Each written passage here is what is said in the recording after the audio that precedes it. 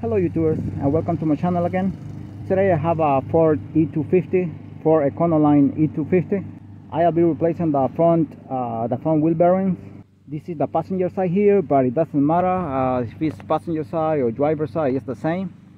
And this basically will apply for any uh, E250, uh, E350, uh, 450 or any Ford that has this type of bearings. Uh, the Ford uses uses the same process for all of them new vehicles with this type of bearings we, I'm talking about the torque specifications basically the same for all of them. So with that in mind uh, let's get started.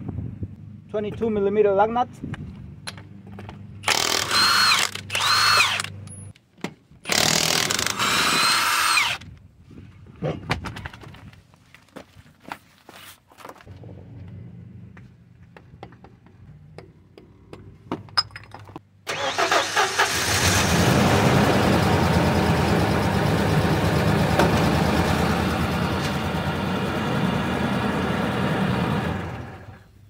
and now if I if I move this like this I'm able to move it like this the whole hub assembly and if I move it from here also. But I know the camera cannot see it I just can feel it. So the bearing is grinding inside it's making a lot of noise and that's why it's being replaced. These are 13 millimeter bolt one and two here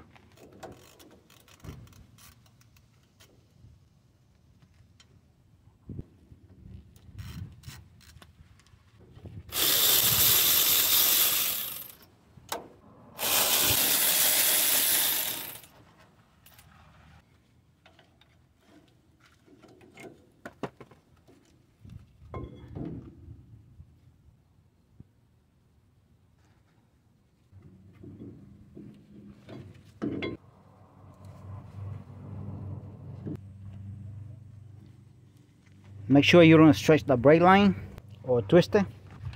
22 millimeter bolt here one here and another one here on the bottom. This one here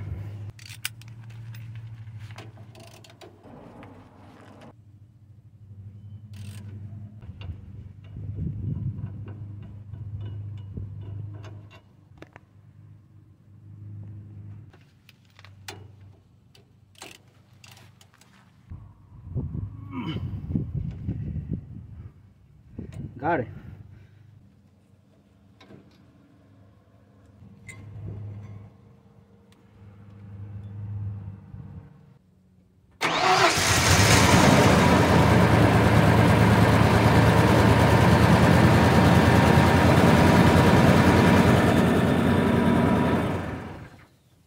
and I put it straight again so you can work more uh, comfortable and uh, have more space. The carry pin here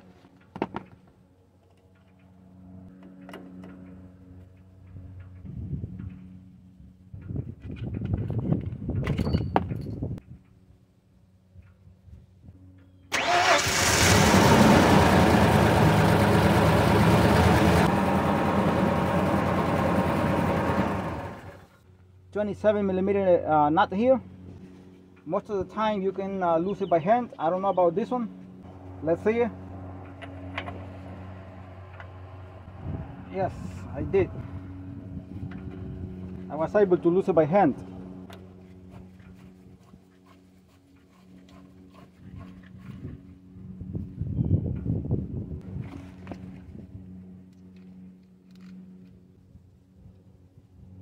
Has a side here. This side is flat.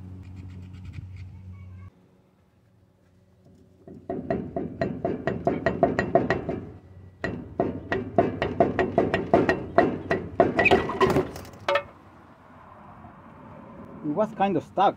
I don't know if it got stuck because of the bearing is uh, damaged, but it was kind of stuck. It's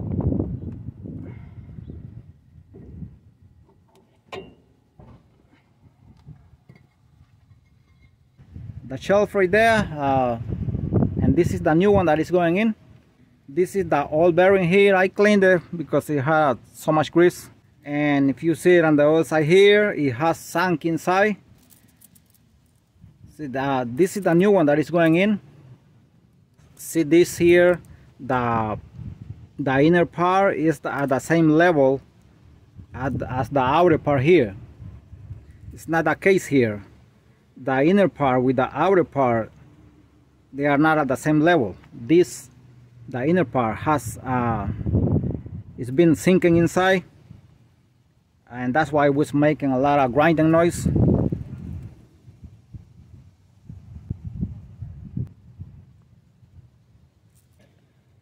Now this is the part number here. Uh, this is the Duralast from AutoZone for the outer wheel bearing. The new shelf here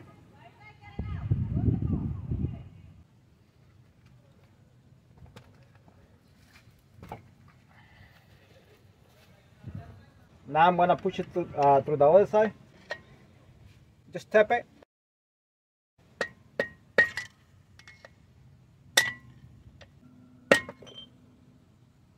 I got it out already.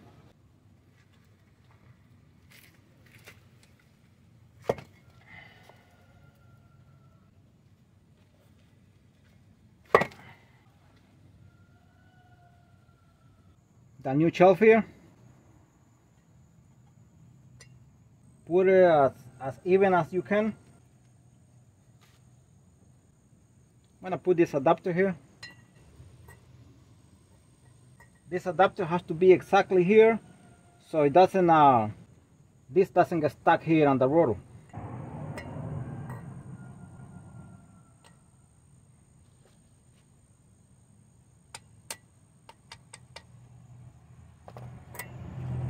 see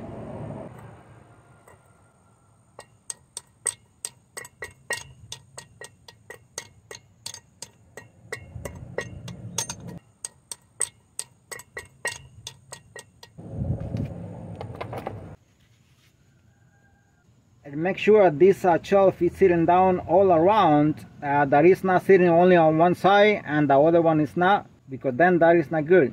So take a, a quick uh, good look here all around. Just by seeing here you can see it is sitting evenly.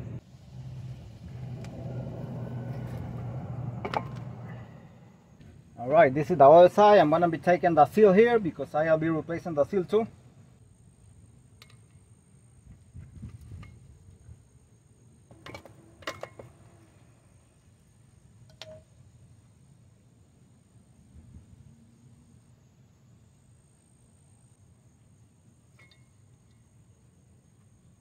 the other bearing here the inner bearing. You can do this just uh, push back, uh, the inner part push it uh, back and forward back and forward. And if it sinks too much from one side then uh, that is not good. And I can tell that this one is damaged too. Now the shelf also is supposed to come out from the other side. Uh, you push it out uh, from there with the with a flathead screwdriver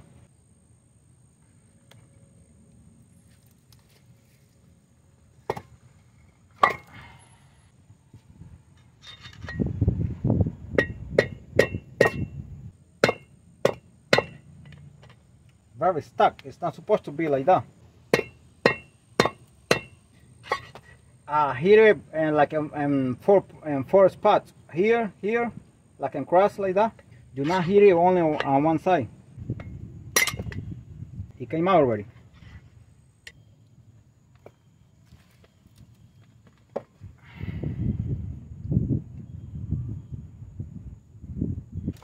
This is the inner here. As you can see it came with a shelf it came with a shelf here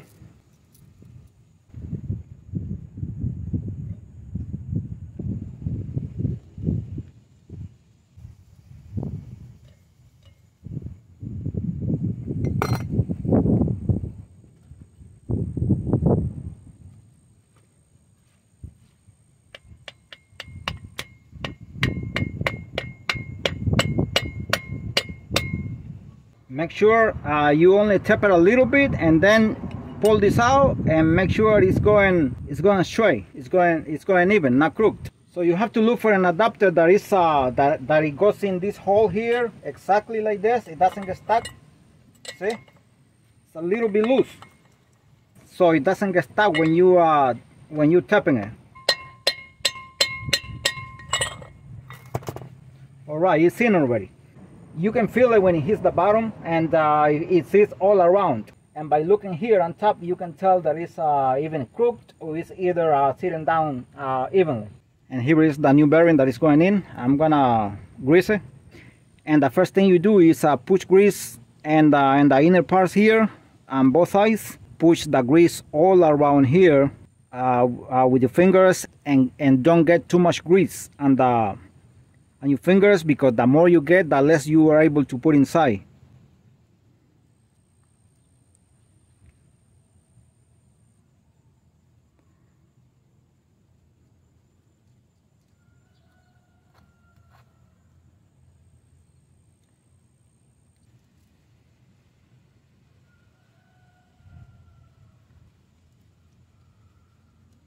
it will take you some time to do this. If you want to pack this with grease very well as it should be there is a tool uh, to put grease inside these things.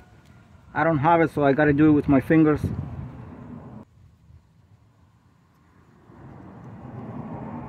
Alright believe it or not I've been greasing this for about 10 minutes because it's not easy. I mean uh, it's very slow process to get the grease in you have to get a little bit and then try to get it in. But on some spots here uh, I can see that the grease started to come out. Not on this side too much but here already uh, came out. This is not from my hand or anything like that. It just uh, just uh, coming out from the other side. So now I'm gonna grease this and it's gonna be uh, very easy because uh, most of it is, has been greased already inside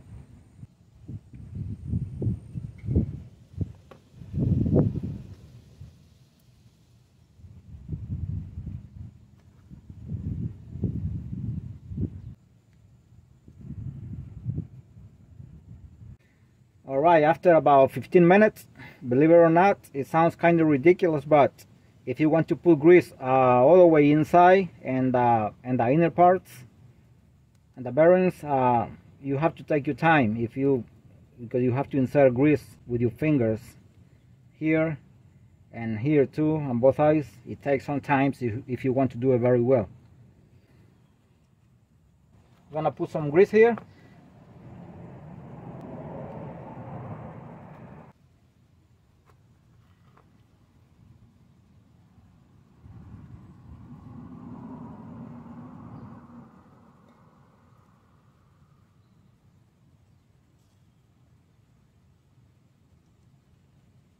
the seal here. Also from AutoZone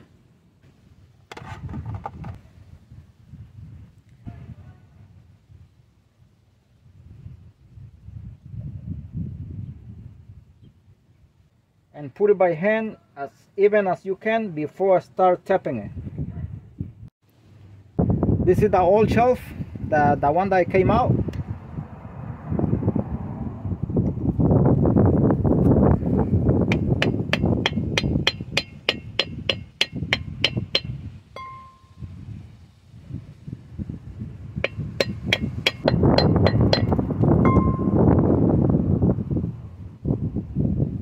uh, sitting very well all around so it's good. And I already greased these two over here because I'm about to put the rotor here. Started fluid. I don't have a brake cleaner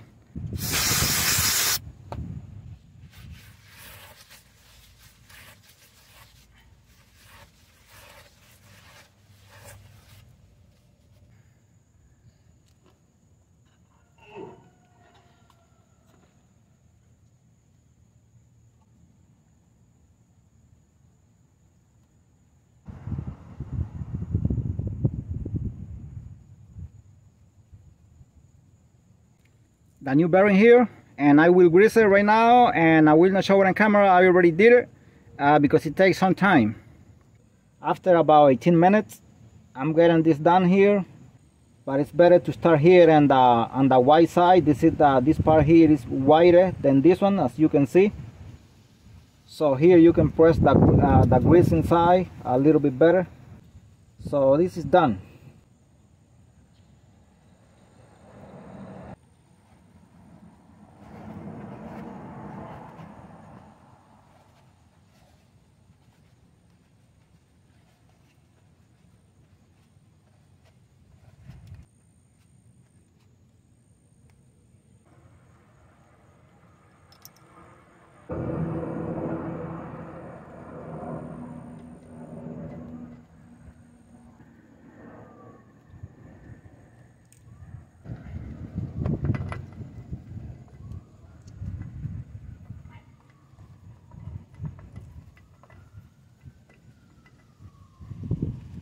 the first torque I'm gonna be doing here I'm gonna be tightening it to 29.5 uh, foot-pounds while spinning the rotor.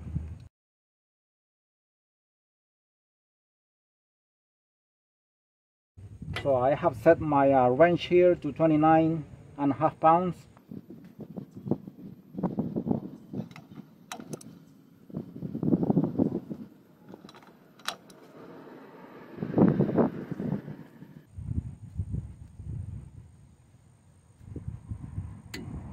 right there.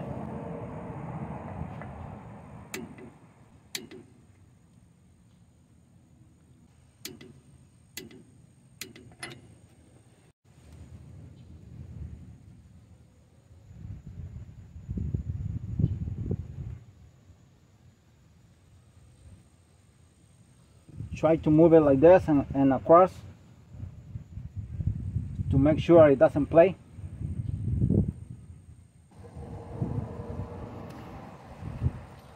now you already saw that I, uh, I torque it to um, 29 and a half foot, uh, foot pounds. So now I'm gonna lose it two turns exactly two turns.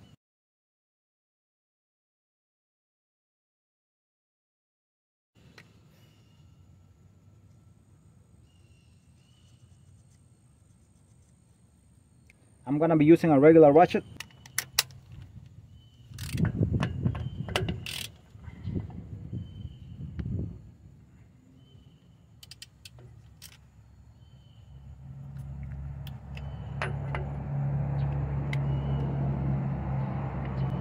one and two exactly right there. All right and right now I'm gonna be tightening it again. Uh, remember the two turns over here? I'm gonna be tightening it to uh, between 17 and 24 uh, foot pounds. That's what the Ford says it doesn't specifically say um, 17 or either 24 it, it, says between 17 and 24 uh, foot pounds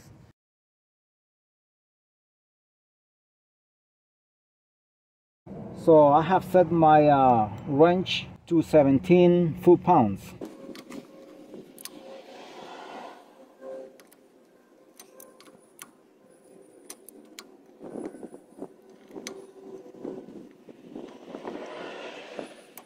Right there. I don't know if the camera hears the click but that's right there. And I don't know if the if the camera can see the mark over here the mark the mark is remaining on top again. All right right now I'm gonna be losing it again. Uh, in this case I'm gonna be losing it 175 degrees.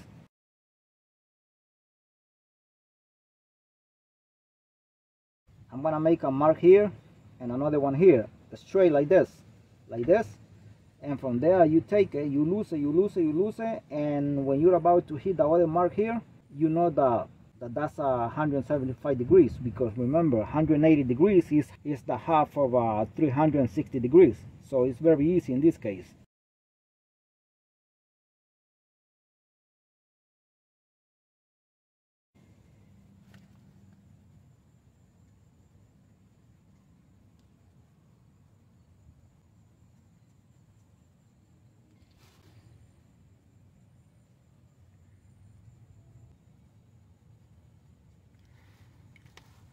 regular ratchet again.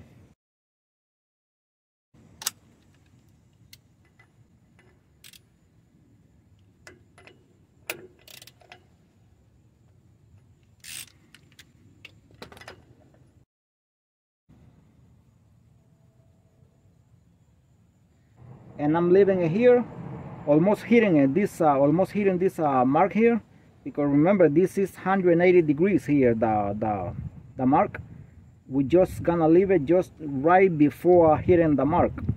And that's about five degrees so that's kind of like a, almost exactly right there. Now I'm gonna be tightening it to uh, one and a half pounds.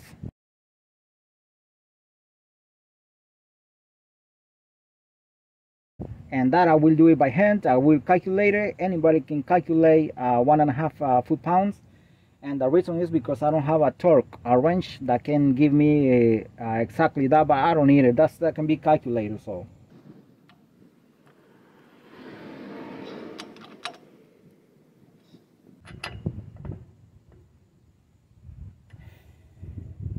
That's the final torque right there.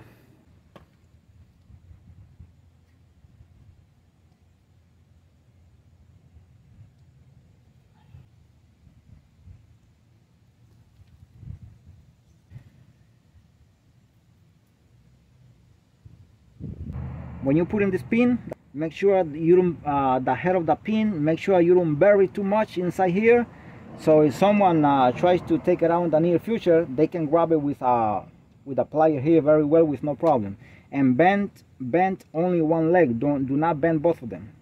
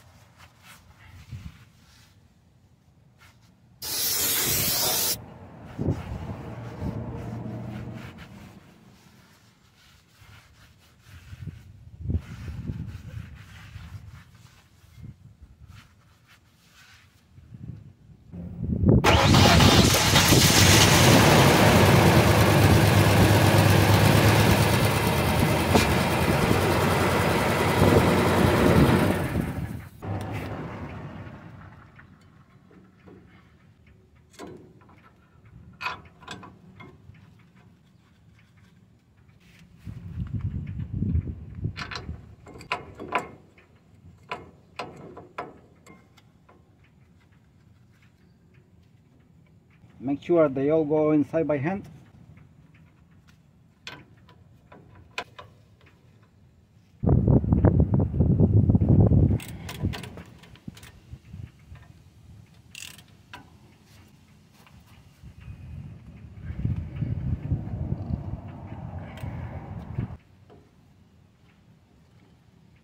I might have to compress this uh, brake caliper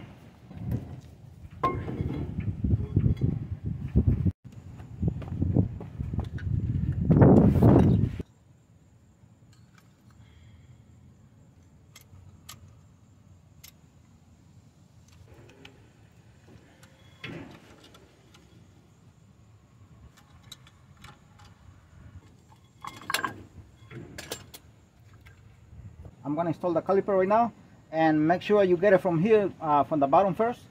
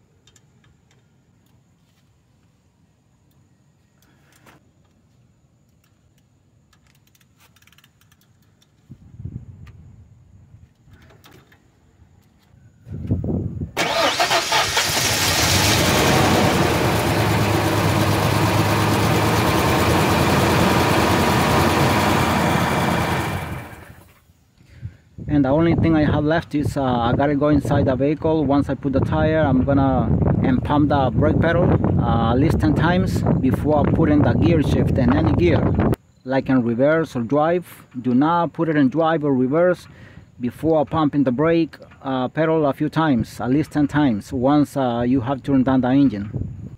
Thanks for watching the video and God bless you all